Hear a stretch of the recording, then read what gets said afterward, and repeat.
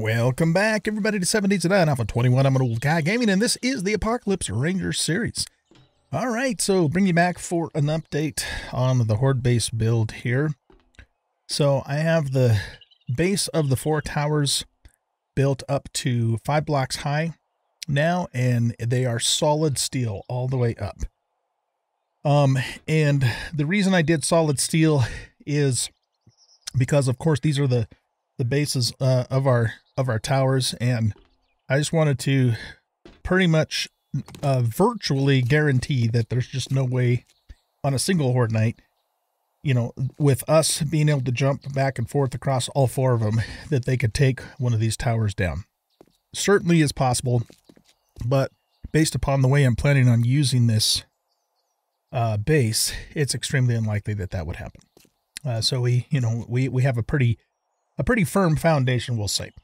Um, there is no way uh, that I'm going to complete the this build in its entirety by day 70. So we're going to do um, we're going to do Horde Night down here in a um, you know kind of a makeshift fashion, if you will. Excuse me, um, for Horde Night 70. Okay, so let's see what else have I done. I I I built the the tunnel, the return tunnel here, so it's two blocks wide, three blocks high. Uh, plenty of room for the zombies to cycle back up to the top or uh, cycle down uh, because they'll actually be coming down this on 70 uh, to get to us most likely. Um, so I got this finished and I got the, um, like I said, I got the the base is done. I did a little bit of work out here too, you know, to kind of level this out. I'm planning on doing something like this pretty much all the way around the perimeter, but I'm just mostly focusing on the stuff that's necessary to get us ready for um, Horde 70. And uh, the other thing I need to do is I still need to go out and do quite a bit of salvaging uh, so we can make a bunch of grenades. Okay, and just this bit that I've I've done already, uh, we have we have 12 we have 12 XP points. I mean the XP is just coming like crazy. So um we're gonna do we're gonna go here and we're gonna get fortitude completely maxed out. We're going to get machine gunner completely maxed out, which means we can now use our purple M60 and add that to our arsenal and have maximum effectiveness with it. And um, we're going to get pain tolerance completely maxed out. And then when we get the next point, we'll get healing factor maxed out. And then after that, um, after that, it's kind of just whatever. I think I've pretty much put points into everything that I feel is essential to what we need. And then anything else after that will be you know, just kind of extra points or freebie points. Uh, I'll probably put some points into well insulated, you know, stuff like that, and probably better barter too um, as they continue to come. And believe me, they're going to continue to come. Uh, those points are. Okay, so to get ready for Horde 70, um, let me put a couple of things in here. I had to go out and cut a bunch more wood. Oh, I guess that's all we're putting in there. That's right. We, don't have a lot of room in there, do we? Okay, so let's head on down to the Horde base here.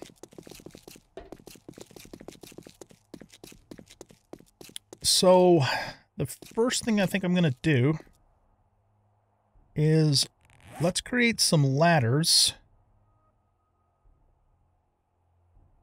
Um, I'm just trying to think here for a second. Okay, yeah, let's create some, make some ladders here. And we're going to...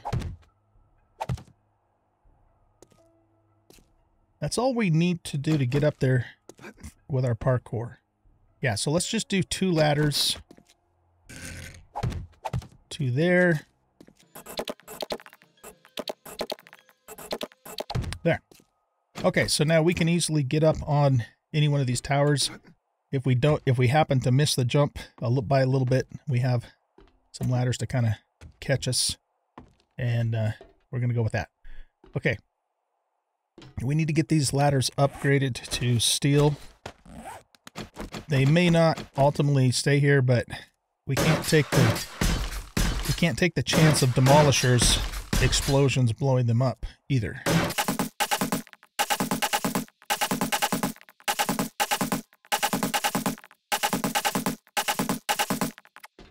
Okay, so that takes care of that. Now, for night 70, we're basically just going to fight the horde on top of our little towers here. Um, and they're going to be running around down there, and we're going to throw grenades on their head. It's it's going to be very very simple. Um, and you know it's not uh, because I don't really have time to do you know much anything more at this point with it. Um, but what we're setting up is is going to be temporary. It's not going to stay this way forever. So what we're going to do is let's grab our our blocks here. And we are going to create ourselves a um yeah i think we're gonna do we're, we're gonna create ourselves a like a canopy if you will um, because of, of vultures and i think i'm gonna make that three high and then after the horde night is over and we uh, we commence the build i'll just fill all of this in Okay, so let's go one higher here, one more higher. And come across this way.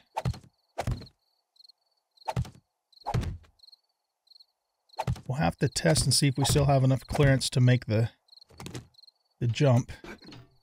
Yeah, see, I think we're going to need to do something a little different there. What we could do is continue to do it this way, but leave gap there. Maybe like that high. we're still we're, we're still hitting our head on that, aren't we? Okay. What if we uh, let's let's just go higher. I mean, why not? There's no we're we're taking the thing to the to the top anyways.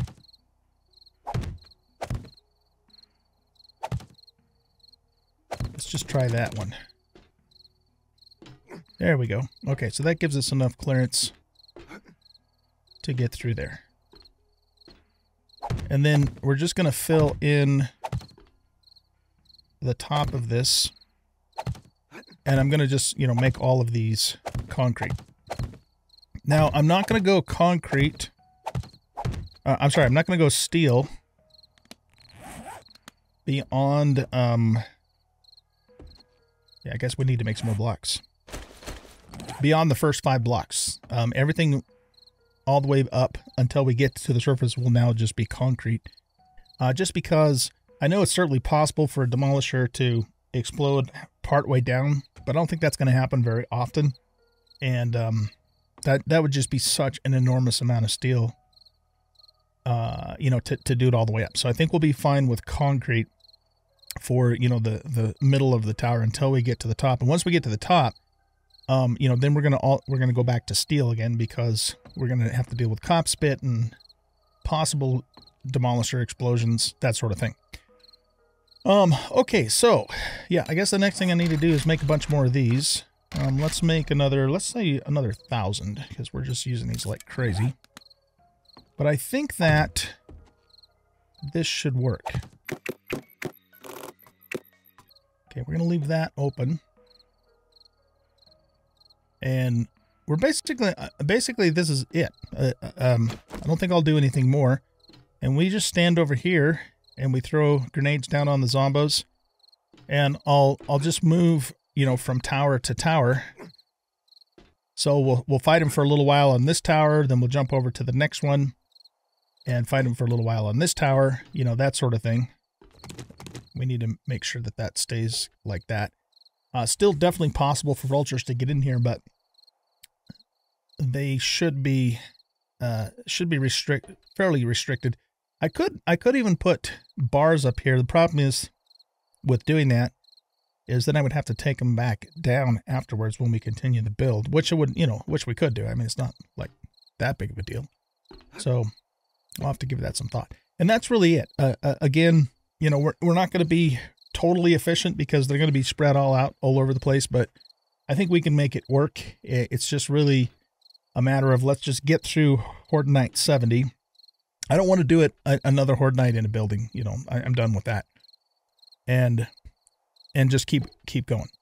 Okay, so with that being said, I'm going to cut the camera here, and then I'm going to finish out uh, the the build for the Horde Night.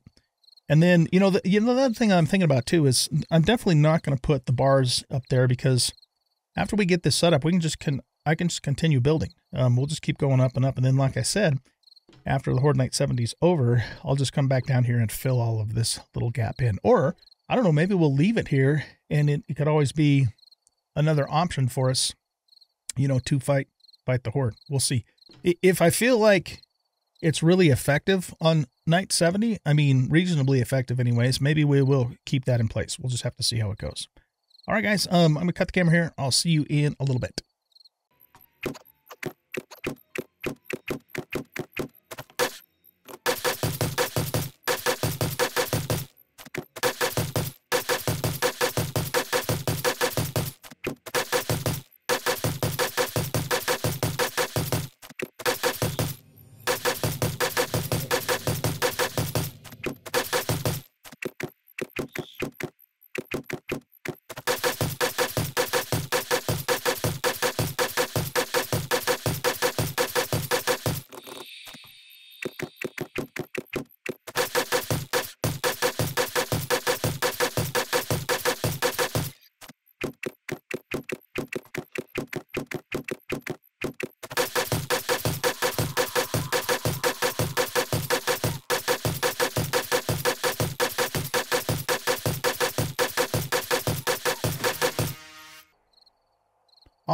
Guys, so I got everything done. Um, I decided that uh, I'm going to have the outside corners of these towers be steel all the way up to the top, just to give it, just, you know, that little bit extra strength. Um, so, yeah, I think that's pretty much all I'm planning on doing down here for Horde 70. And uh, we'll see how it goes. I, I think we'll I think we'll be able to survive it at least. Um, I'm not expecting it to be super efficient in terms of XP. But um, I, I, think, like I said, I think we can survive it and then just continue uh, from here, uh, building the towers and continue, you know, going up. Uh, all right, so the next thing on the agenda is we need to, I need to do a bunch of salvaging um, to get parts to make grenades. Springs in particular, but I'm also, you know, relatively low on mechanical parts too. So I'm going to go back to the base, um, put stuff away, kind of get situated, and then I'll meet you guys in town, and we're going to just go start wrenching a crap ton of cars. Okay, guys, we're back at the base here, uh, getting ready to head out again. Um, all right, so we are going to switch up our MO in terms of our tools and weapons. So until and unless we come across a purple desert vulture, um, as much as I love the desert vulture, I think we're going to retire this guy. We do need to remember, though, that we should have a 44 Magnum with us whenever we're working with the trader. Um, so what I'm going to do is take and put this green 44 in the sell chest so I always see it in there and remember to take it with us. Um, and we're going to retire, of course, the 44 ammunition. And I think... I think I'm also going to retire the pistol for now, too. Um, and it's not... It, well, it's because, you know, I want I need the room on the toolbar, but I also need room for more ammunition.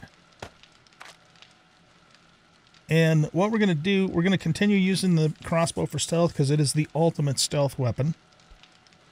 We're going to continue using the two SMGs.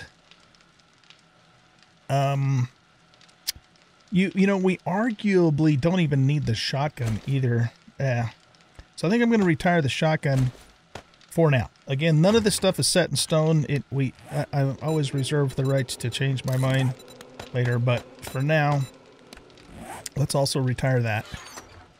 And what's going to take its the place of that stuff is this um, purple M60 that we um, got in a I can I don't remember where we got it. I think we got it in loot maybe, or maybe we got it for a prize a reward after a quest a few several episodes ago and I've just been kind of sitting on it. Um, let's go ahead and just repair everything too because we got plenty of repair kits so that way well that one's in pretty good shape. We'll repair this and this one for sure.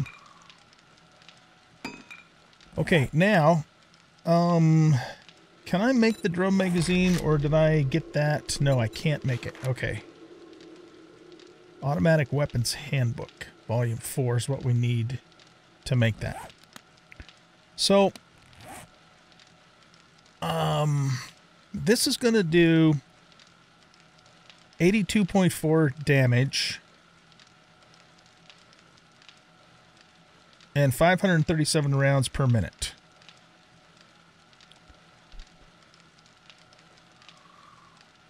So, I think if we, keeping in mind that I am, mathematics is not my strong suit, if we just take 82.4 and multiply that by 537, this weapon does 45,168.8 damage per minute. Okay, so I'm going to write that number down, 45,168.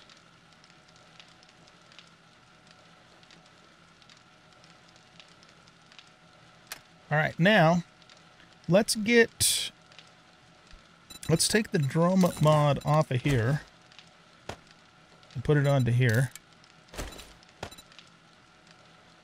And we'll put the reflex, a reflex sight on there. We will put um, the crip, well, no, let's put the, let's put well, let me see what I have in here, actually. Reflex sight. Don't really care about the laser sight so much. What I do want is this thing. Uh, the foregrip mod. Can we make that? Yes, we can. Okay, let's make a foregrip mod. Oh, yeah, I've been making all that stuff in there. Okay, so let's track that. So we need forged iron.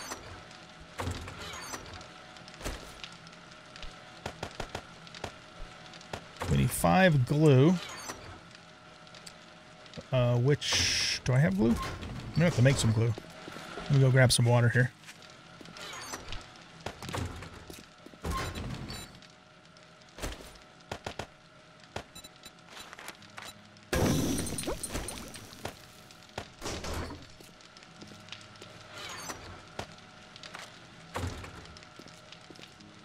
We're going to need five mechanical parts and 10 springs, which I'm completely out of. Okay, well, in that case, what we're going to do then is we're just going to take this one off of here temporarily, and I'll make another one to put back on there. Okay, so we'll modify that, put this on here, and then we want a, we want a rad remover for the last thing. Can we make a rad remover? Yes, we can. Okay, so let's track that pretty much want to have a rad remover on just about everything. Oh, well, definitely on our main weapons anyways. We're going to need more glue for that. Oh, shit, we can't...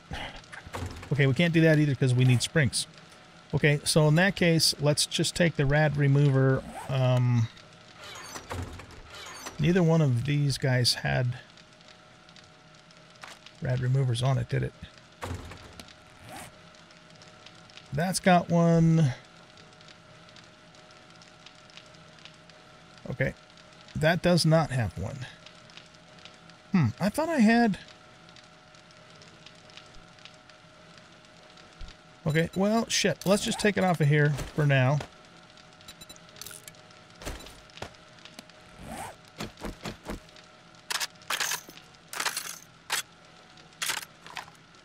sucker takes so long to reload. Is it fully at full capacity? Yes, it is. Okay, so it holds 120 with the drum. Okay, so let's look at this. So this does 115.7 damage at 440 rounds per minute. So let's do the math on that one. 115.7 times 440. That's 50,908. Uh, okay, yeah, that's substantially more. It's about 5,000 more damage per minute than the SMG does. Um, and we have twice the number of uh, rounds in the drum because this will only hold 60 with the drum. This holds 120.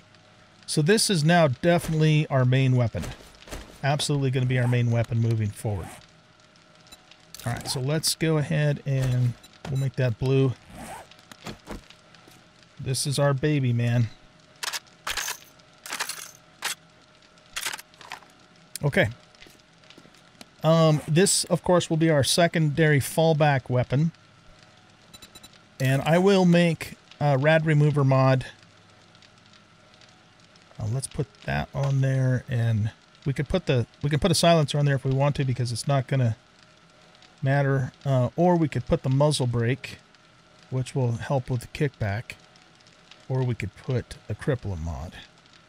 Yeah, let's do the muzzle brake. I think. Um, this does 62, 61.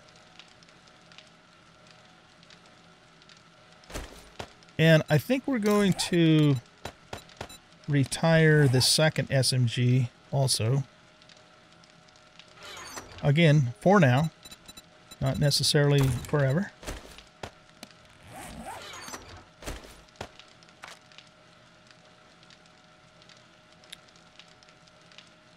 So we got this, we got this, we got this.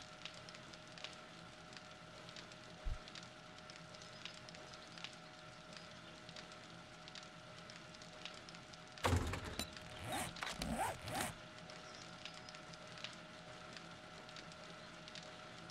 was just looking to see what I what I had died there. Oh, and we still have our sniper rifle too. In fact, yeah, let's take and put the die on that. Can't hardly really tell the difference. But yeah, okay, cool. I'm liking it. I'm liking it. This actually could stand to be repaired also. Do we have a rad remover on this? We don't. Okay. I'm probably going to take the cripplem off and replace it with a rad remover. Because this doesn't affect... Uh, that That's just limbs, right? That's not heads. Let's just confirm that. Chance to cripple a leg. Oh, it's only legs. It's not even arms. Okay. Yeah, so I would definitely prefer to have a rad remover on here. We need a rad remover on here. That one has one. That one has one. I don't even know if you can put that on a knife, but if you can, I would take the bunker buster off. In fact, is there something else better we could put on there? We already have a serrated blade. Weighted head mod. Knives and machetes do not have a head that can be weighted. Yeah, we can't put that on there at all. So I think, yeah, I think that's probably as good as that's going to get. Okay, so you're fully loaded. You need to be fully loaded. You need to be loaded. And what that does now is that leaves us more toolbar slots because um, I'm constantly having to switch out, you know, those tools we could keep these on the toolbar and then probably the salvage tool because we, we don't we, we don't really use the nail gun at all when we're out doing POIs. We will use the shovel on occasion though, so we could switch these two out. Very good. Okay, let's go and put all these additional mods away, and some of these we'll be able to use now to put on stuff to sell later. Um, I don't need all of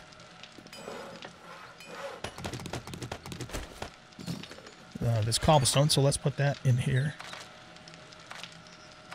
And we have lots of room now for ammunition.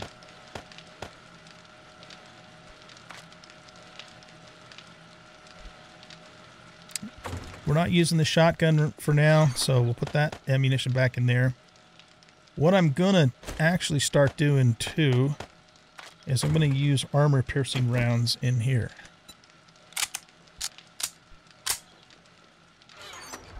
And, you know, we have some SMG turrets. So um, all of this normal 9mm ammo will start, you know, thrown in those when I get them, eventually when I get them set up. Okay, good. Um, so now we want to load up on 762s. So right now we have three full stacks. I think we'll probably carry four full stacks and two stacks of armor piercing. Let's make some more armor piercing too, by the way, of nine millimeters. And eventually we'll probably even use nine millimeter, or I'm sorry, 762 armor piercing uh, but for now, we'll just use, you know, what we what we currently have. There we go. Bullet tip gunpowder casing. Oh, I didn't grab casings. Yeah, let's make a thousand of those.